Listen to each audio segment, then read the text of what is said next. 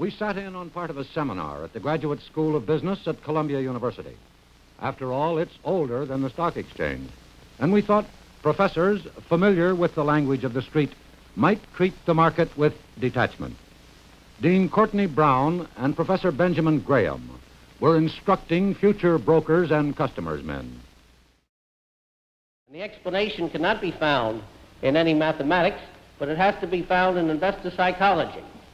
You can have an extraordinary difference in the price level merely because not only speculators, but investors themselves are looking at the situation through rose-colored glasses rather than dark, dark blue glasses.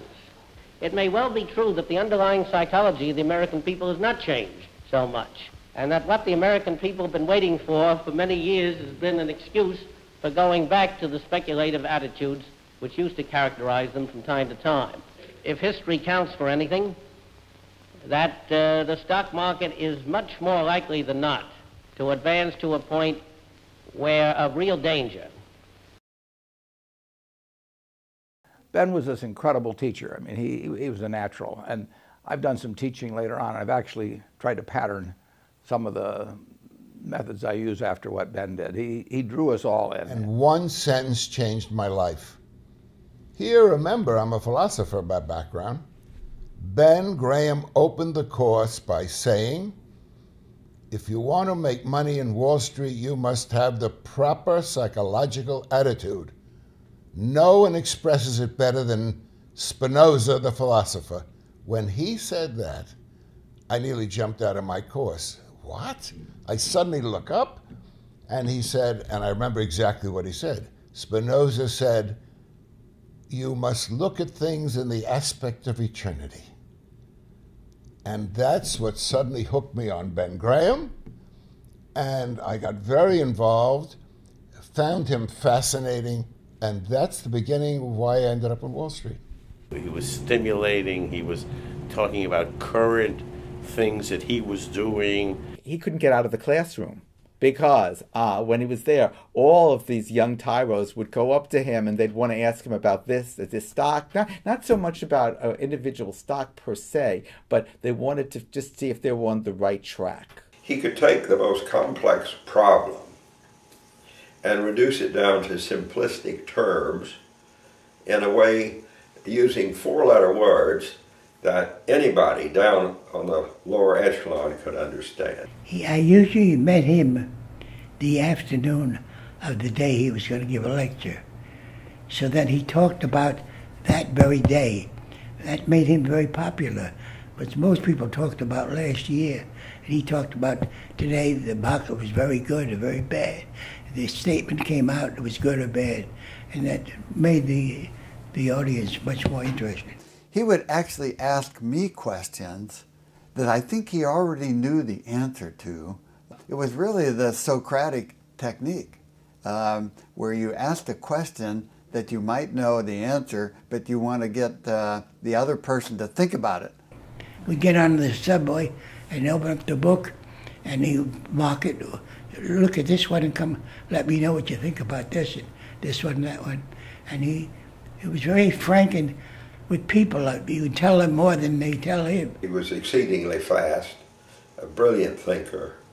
Everything was informal, but uh, while he had a tie and, and uh, he had a white jacket on, I think that was to absorb the chalk. It was his working uniform.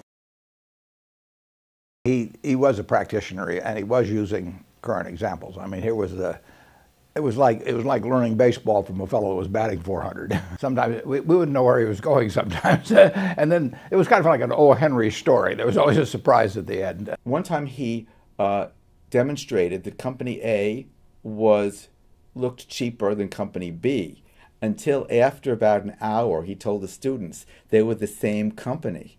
After class, you could go. He was always accessible and pleasant. He was very nice to students, very warm and very understanding. He was a Renaissance man. He was as interested in Latin and Greek as in, frankly, as in uh, the stock market. Oh, I'll give you the other quote, the famous quote that ended in book. He used it in the class. Through chances various through all the vicissitudes we make our way. That's Horace Oh, yeah, he very much, if you listen to Graham or talk to him, these things came in. One day I was uh, taking Latin in high school, and I mentioned to him that uh, I was studying uh, Cicero's oration against Catiline. And he said, Oh, yes, I remember that. Whereupon he quoted in memory, and of course in Latin, the entire oration. Uh, I just looked that up in the internet. It's 3,200 words. Well, I was used to being impressed, of course, by my dad, but that that, that really did uh, blow me away. Well, it changed my life. Uh, if, if, if I hadn't read that book in 19, late 1949, uh, I, I'd have had a different future. Uh, it, it, it, it, instantly clicked with me that what he was saying made sense. Uh, and then the chance to uh, study under him and, and under Dave Dodd too. It, it, was a different experience, but it was hugely helpful. It really, it, it shaped my professional life. It was a powerful influence on me immediately uh, which later even philosopher, to be an empiricist and to look at the data and not be influenced by what you heard around you. And uh, uh, oh, that was very clear. Just be interested in fundamentals and forget all the rest and have patience. It was a failure to start with. It's hard to believe that the book could be uh, so overlooked, but nobody cared. He, he would tell most people don't buy that stock. It was too early for the time. Ben Graham's family lost a great deal of their money in the Depression. So the whole fact was the, the whole the whole concept was preservation of capital. Only he believed in cash. Cash.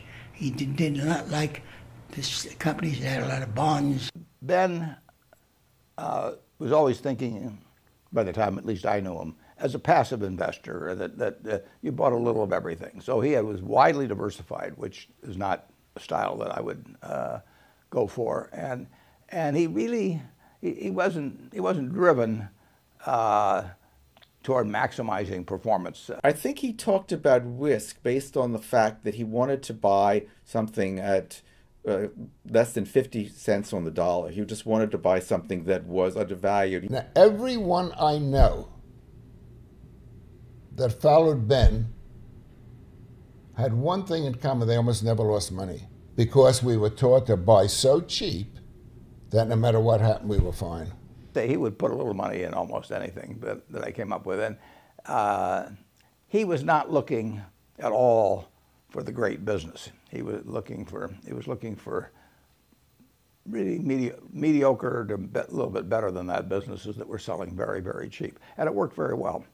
Uh, but uh, and of course the irony is that that the shareholders of Graham Newman made their money out of uh, made more money out of GEICO, which was then called Government Employees Insurance, which was the antithesis of the kind of company normally uh, would invest in. I remember years ago they looked through the manuals and tear sheets. It's not that different from today. My dad and I years ago, for years we'd go we'd look through Value Line and we try to uh, you know we would look and try to find the stock that was the best value within each industry group. Ben did what Warren did, and not Ben himself necessarily, because I know Walter Schloss would comb uh, Moody's.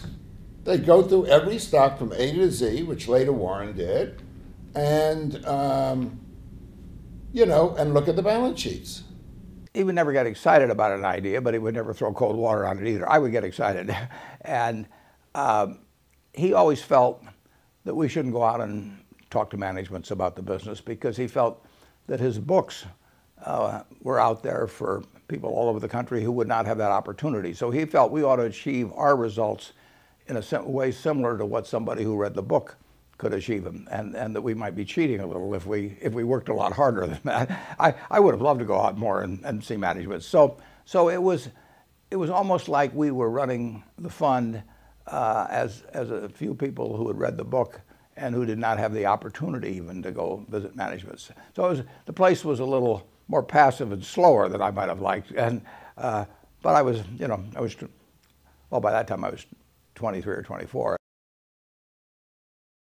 making money did not did not motivate him. I remember one time I was standing with him by the elevator. We were going, down to eat at the cafeteria in the bottom of the Chanin building, and he said, I can still remember it. He said, Warren, he said, he said, don't, don't worry too much about making money. He says, it, it, it won't change the way you, you, you live. He says, it'll change the way your wife lives. But he said, our wives live differently. But he says, look at you and I are wearing the same clothes. We're going to eat the same cafeteria, so relax. ben was very, very generous. He'd go out to lunch with people and he would quite often just recommend stocks to people. And my dad used to be a little bit upset sometimes because he'd come back to the office. he'd come back to the office after he had lunch and the stock was already up a few points because the guy right away bid it up. And in those days, some of these things were not that liquid. So if you told someone about the stock, you could the stock would move up a few points. He gave of himself to the public. And that's, I would say, uh, a very generous deed. I know that his partners couldn't have been very happy with him because he, he gave away the trade secrets of Graham, Graham Newman at times. And uh, uh, he wanted uh, his students to to learn. So he was very open. He was a uh, he always wanted to talk about and, and teach and that sort of thing. I was kind of a young rookie at the time, so I was a good subject for him. And so he was uh, very nice. Um, to invite me over to his apartment and to uh, discuss investing with him. He would do things for you. My, my, my first son was born when I was in when I was working for him, and we named him Howard Graham Buffett after my dad and and uh, after Ben, and Ben came over and Esty, his wife, and they had a uh, a movie projector, a camera. I mean, fairly expensive type gifts, and he would always be doing that for, for you. And he didn't, he, and he didn't want anything in return. He actually, on his birthdays, he would give gifts to the people that attended the birthday party because he figured he was the happy one. he is the odd man out. I think Ben represented a certain approach to investing he was very much aware that he was buy, that he was going against the tide. He was buying companies that were troubled. He was willing to buy something when nobody else wanted it. Uh, he believed that you could, uh, which he was, you, you could become an activist in Wall Street and, and benefit. Uh, these, a lot of companies were not uh, operating on all their cylinders uh, like they should. And you could push him into doing more, which would, uh, in itself, would benefit society, would provide for greater employment and all of the things. So in that respect, I, he was he was also an Adam Smith. He was innovative. It was a new approach. I don't think necessarily he realized what an impact he was making. He was a very modest man. Everything was experimental. Everything was new. Everything was exciting. He was a man of ideas. So for him, I don't think he, at the time, he had any idea how significant uh, the the approach uh, would become, and I don't think he had any idea at the time that he was creating this amazing, just this amazing, tremendous impact on the world of finance. He, he said every day he wanted to do something, you know, foolish, something uh, uh, creative, and something, something generous.